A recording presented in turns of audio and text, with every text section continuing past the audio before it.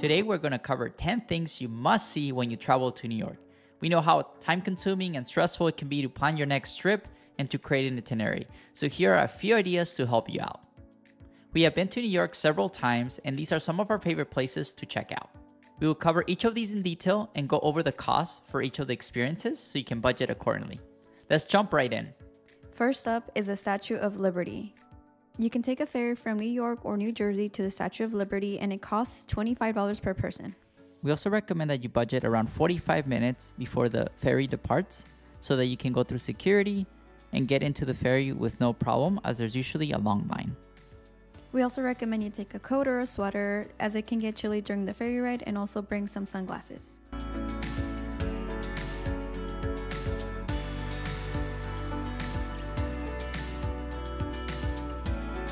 Once you get to Liberty Island, you can listen to an audio tour like we are doing here, and it comes in many different languages like Spanish, French, English, and many more. Also, make sure to check out the Statue of Liberty Museum, which is free, and you can find interactive experiences and also see the original torch.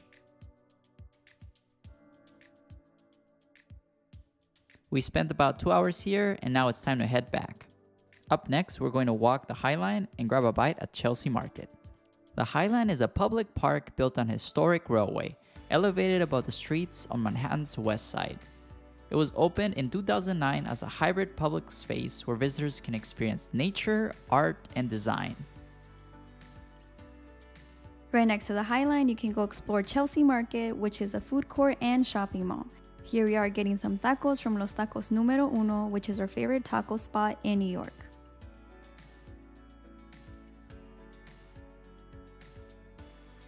And for dessert, we got some delicious egg custards.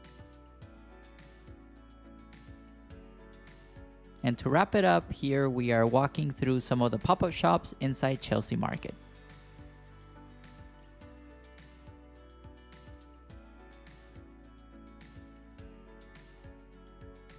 Next on our list is to catch a Broadway show.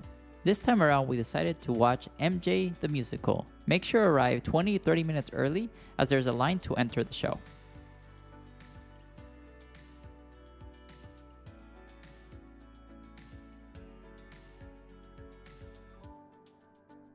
Here's a sneak peek of the end of the show.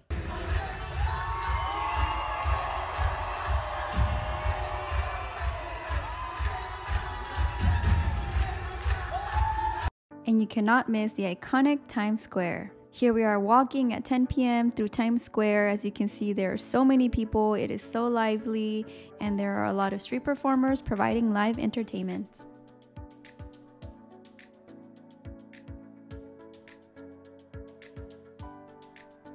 All right, we're halfway there. Up next, you need to experience the 9 11 Memorial. This is a space that's dedicated to those lost in the 2001 attacks.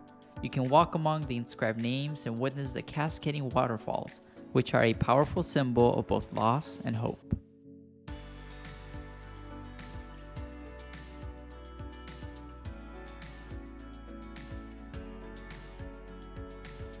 Number six on the list is to walk the Brooklyn Bridge. Be sure to take some comfortable shoes as you will be doing lots of walking. It took us 40 minutes to walk the entire bridge because we stopped for pictures and videos, but it should take about 20 minutes approximately as it is 1.3 miles to cross the entire bridge.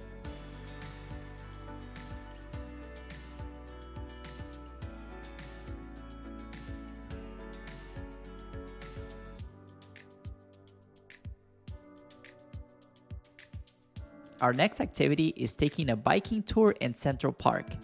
There are several options to explore Central Park. You can do a tour, which we did, and it is $50 per person, or you can rent a bike and explore the park yourself. Anytime we find ourselves in New York, we always prioritize biking in Central Park because it is so much fun and there is so much to see.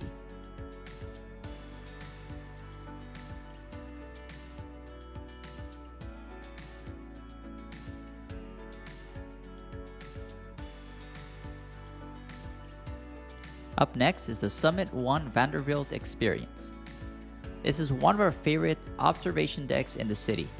It costs $43 per person, and we spent about two hours here. Uh, this is one of the experiences, a room full of mirrors, great for taking pictures and seeing a view of New York like no other.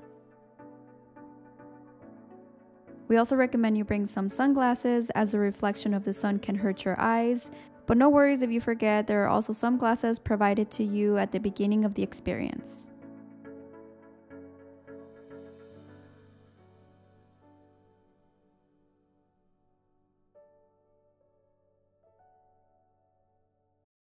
Our favorite part about the experience was the second room, which I believe is called Air Affinity. It's a room that is filled with many silver balloons, which make it such a great place to take pictures and have fun with your family and friends while enjoying the beautiful view. We are almost done. Ninth on our list is to explore Hudson Yards. The first stop to make is to go see the vessel. Currently, the vessel is not open to the public, but you can still take pictures and videos from outside. After the vessel, you can take an elevator and check out the Edge Observation Deck, which is 100 stories high. The general admission is only $36 per person, and it gives you access to 360 degree view of the New York skyline. This is a great place for taking pictures and videos and enjoying the beautiful view.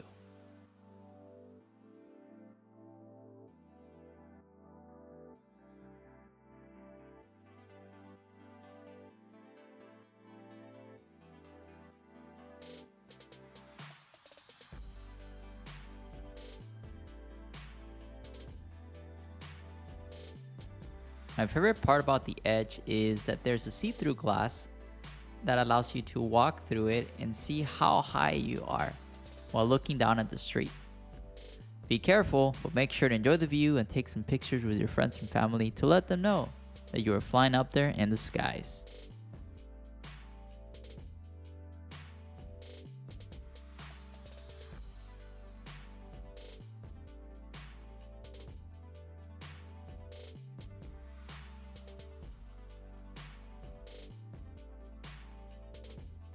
If you made it this far and have enjoyed our recommendations, please make sure to give us a thumbs up and share this video with others. We would also love to hear from you. Let us know in the comments what was your favorite experience or if there are any that we missed on this list.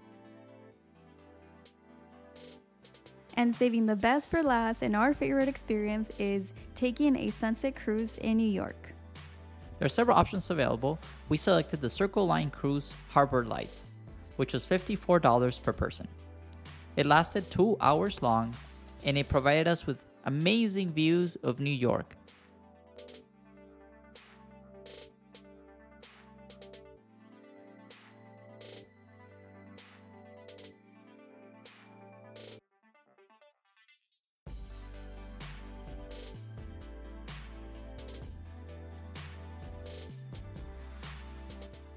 After walking all day, Sitting on this cruise for two hours was incredible for us. We not only got to rest, but got to enjoy incredible views of the Brooklyn Bridge, the Statue of Liberty, the skyline, and it was just an unforgettable experience. We highly, highly recommend it. And here are some views at sunset.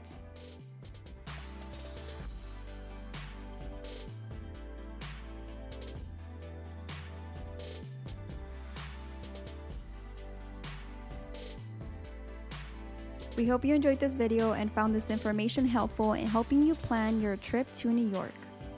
We hope you have so much fun in New York and happy, happy travels. travels.